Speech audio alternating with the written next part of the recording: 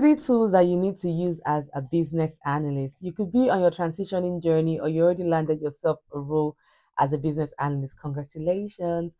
Now, the first tool is Microsoft Visio. Microsoft Visio is a tool that is used for process mapping. And as a business analyst, that is your bread and butter. So you would need to map out processes and you would do that with Microsoft Visio. The next tool is Microsoft Office 365. You know, tools like Excel, like PowerPoint, all of those things are super important for your role as a business analyst. You will use it to document requirements, to present your findings, to present some data and all of those things. So yes, Microsoft Office is a key tool and you must understand how to use it.